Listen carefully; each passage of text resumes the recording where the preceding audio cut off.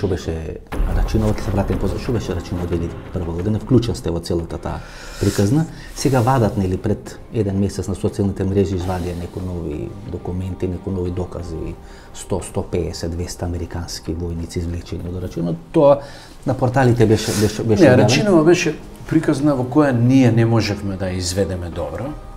Инаку Солана беше предходно тука и му даде рок од 12 дена Бак буквално памтам 12, не знам зашто 12, зашто не 14 или 10. Нече 12. 12 дена на, на Борис вика решите го Рачиново, ние ќе гледаме на друга страна. Значи не два дена, не 40, Не, не, 12 дена. 12 дена. Не може, значи Љубе качен со двогледот од, од Белви, ја гледа работа, артилерија, не можете со артилерија.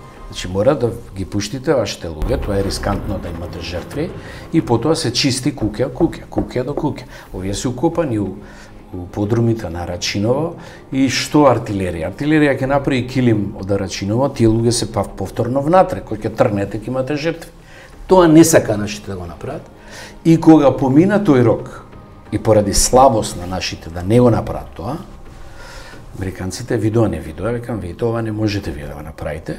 Ние ќе пратиме, ќе ги извлечеме и ги однесува, дојдоа, ги извлекоа и ги однесува у Косово.